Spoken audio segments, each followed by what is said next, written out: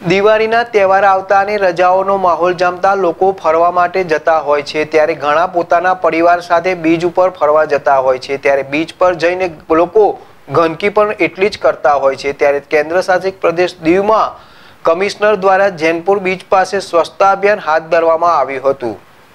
દિવાળીના તહેવાર આવતા અને રજાઓનો માહોલ જામતા જ લોકો ફરવા માટે બહાર જતા હોય છે. ત્યારે ઘણા પોતાના પરિવાર સાથે બીચ પર પણ ફરવા જતા હોય છે. ત્યારે બીચ પર જઈને લોકો ગંદકી પણ એટલી જ કરતા હોય છે. ફૂડના પેકેટ અને નાસ્તાના પેકેટ, ડ્રિંક્સની બોટલો વગેરે કચરો બીચ પર નાખીને બીચની સુંદરતા ખરાબ થતી હોય છે. બીચ પર સ્વચ્છતા જાળવવી અને પર્યાવરણની જાળવણી કરવી એ દરેક નાગરિકની ફરજમાં આવે છે.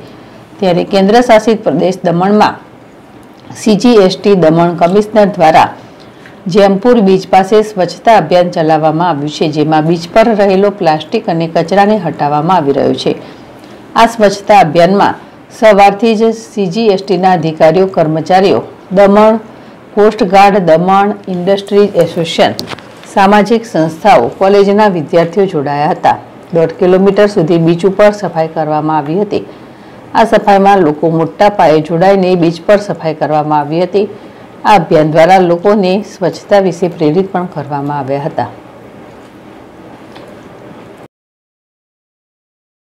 रहे हैं डेढ़ किलोमीटर का करीब स्ट्रेच है बीच का जिसकी अ, सफाई करने की हम लोग कोशिश कर रहे हैं मेन फोकस है सारा प्लास्टिक वेस्ट हटाने के लिए बहुत प्लास्टिक वेस्ट हम लोग जनरेट करते हैं और हमारी सबसे विनती है कि जितना कम प्लास्टिक यूज़ करें उतना अच्छा है और आई होप ये अभियान सक्सेसफुल रहे और ऐसे ही अगर सब लोग बारी बारी से रोज़ बीच की सफ़ाई करते रहें तो हम लोग की बीचेस बहुत ही साफ़ रहेंगी। इतना सुंदर है हमारा देश बीच इतनी सुंदर बीच है यहाँ पे और अगर साफ़ रहेगी तो बहुत अच्छा रहेगा। एंड स्वच्छता तो ऑफकोर्स हमारे विकसित भारत के लिए